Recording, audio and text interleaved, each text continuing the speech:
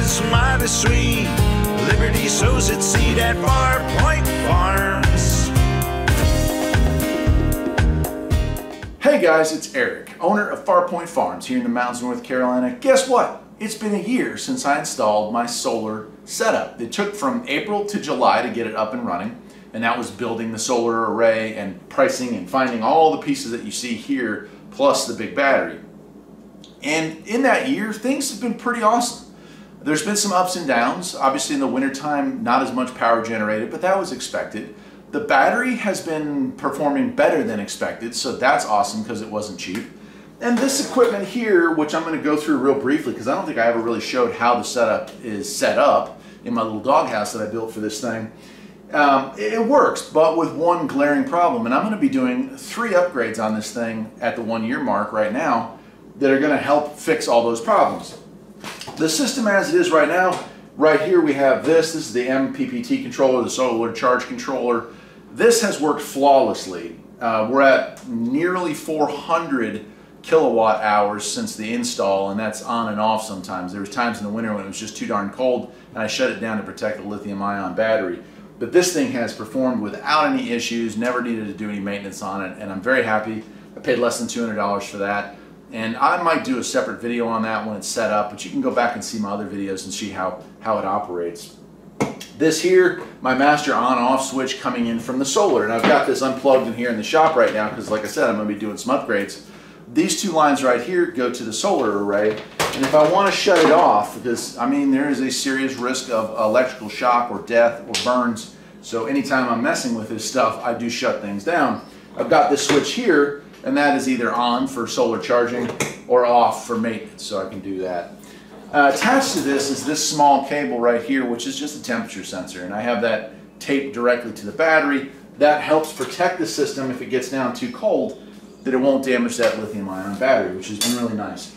On uh, lead acid batteries, it would also keep it from overheating and damaging the batteries that way. You don't want those batteries boiling. Wiring goes over to here, comes into the system, goes back out here, and then we're going to go off to these, these things here.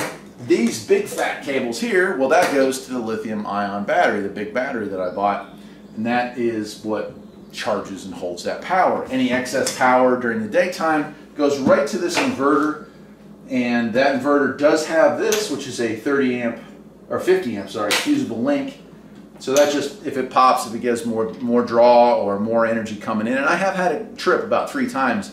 The way I usually find out that it tripped, is eh, the battery goes dead. Because the way I have it set up, this can trip, and I'm no longer producing energy into the battery or into the system, but the battery can still power the inverter, so that's how that worked out. I don't know if that's the ideal way of doing it, but it's been, it's been working fairly well for me, and so that's what's going on there.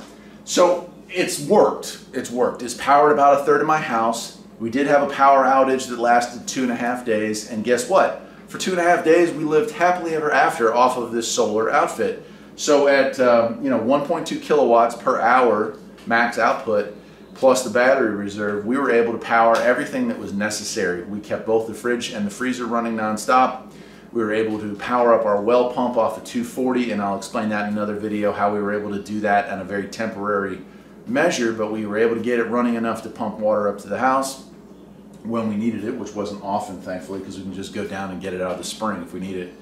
But we're able to do all that stuff, and our stoves are gas, so we didn't need to have to worry about that. But we were able to run a fan because it was over the summer, last summer, late last summer that this happened, and so it was nice. There are some shortcomings to this system and some issues, and the first issue I want to talk to you about is this right here while this was a relatively no-name brand charger, you know, you can go with uh, some really high-end stuff. I think it's, I can't even remember the name of it, but there was other ones we looked at that were three times the cost of this, this being less than $200. This also was not an inexpensive purchase, but much less expensive than what you could pay for uh, an AIMS power supply, something, uh, you know, more name brand. But this one here, that was the first big disappointment. So this is supposed to have had a year's warranty, which means it would just now be running out. And with that warranty, I figured, well, you know, if something goes wrong, it'll be covered. Well, at three months in, it started to not work properly. It worked fine in the morning, And then I noticed uh, a lot of humming coming through my radio equipment suddenly, and then by the afternoon it was out. And so I checked it out and uh, you know looked at the fuses, looked at everything else, dead short inside. It's a miracle it didn't burn anything down. I contacted the company, and the company, which I don't think even sells any products on Amazon anymore, boy, they had every excuse in the book. It was uh, you know uh, lockdown related. They couldn't do it. They wanted me to pay shipping to have it shipped to a place in California. Then they refused to give me the address. I mean, it was a total nightmare. I am not a huge fan of Amazon. But I will say this I contacted Amazon and complained about the situation, how they had a product on their site that was listed as having a warranty and they wouldn't honor it. And you know what? They sent me another one. They probably built a company, which was the right thing to do, but at least they took care of it. This unit also lasted not as long as it should have. Obviously, the company refused to deal with me ever again, but not more than six months later, so two months ago, this thing died again, or started to act up. It didn't die. This one does still work, but a lot of line noise, a lot of noise in the radio equipment that I have here in the house, and you could just you could just kind of see the lights flickering a little bit, and that's not acceptable. I have electronic equipment here that this you know needs to be kept at a regular voltage. So I stopped using that. I used a step down converter to 12 volts instead of 24, and I used some other inverters here for the last two months while I saved up and I've saved up. And what we're going to be doing here, and I'm going to make another couple of videos on this here, is this. I've got some upgrades. Some of the stuff I should have installed the first time, and I didn't, and that is this piece right here. And that is a battery monitor, like a system monitor. So I, I should have put this in a long time ago, and I didn't, but I did order it. I have no way of knowing state of charge when I am using stuff. So when we lost power, I didn't know how much reserve capacity I had left there is a LED on the battery itself that gives me voltage, but that's not exactly uh, directly lined up with how much power is left. So, I mean, you can use it, and that was our rough estimate. But this is going to allow me to know at any one given time how many watts are going out of that battery or out of the system, how many is coming in, and all the rest. So that is going to be something we install, and I'm going to be installing that directly on this board here. The other two pieces this is something that we talked about um, that we're going to be messing around with here. And this is called a grid tie. So for a lot of the time, like I'm, I'm wasting electricity, or I'm wasting energy, I should say. The system is producing between six and a half and eight and a half kilowatts a day. I'm only actually using about half that amount because I'm only powering a third of my house. This system right here, and again, a separate video on this, allows you to tie this thing and backfeed it into your house's grid. Now, it's not a grid tie where you're going to be backfeeding into the power company's power supply and it's going to, you know, get you a credit every month. It's not that kind of setup. This is a smaller setup that measures of usage. So it's going to measure how much energy is being pulled out of the house and it will supplement up to that number, but it'll never push more. It'll never push into the system. It'll only push into the house if that makes any sense. So I'll make a video on that, but I'm going to be installing that here this week.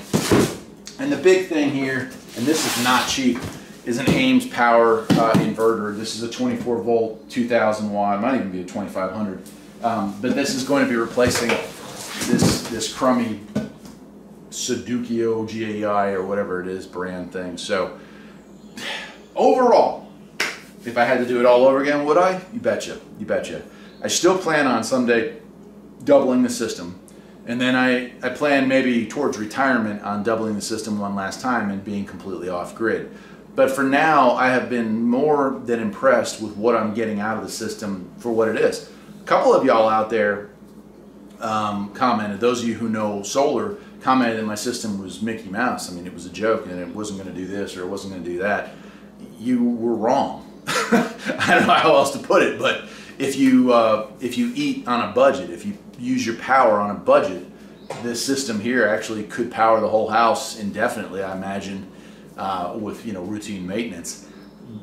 Would I live like a normal person lives? Nope, not at all. All these beautiful lights that I have on here in the garage, I'd have to run half of that amount of lights. Uh, you know, so there's ways of cutting back on that. But for emergency situations, for when the power goes out, it completely kept us going silently and um, completely replenishable. You know, I didn't have to burn fuel in my generator to keep that fridge and freezer running.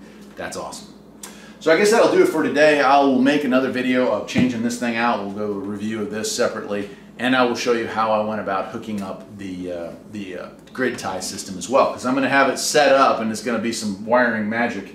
Then I'm going to have it set up so I can both feed the house off a battery when I want to, or flip a switch and use it as a grid tie system. And I think for the most part, from here on forward, once this is done, it'll be a grid tied system until a power outage.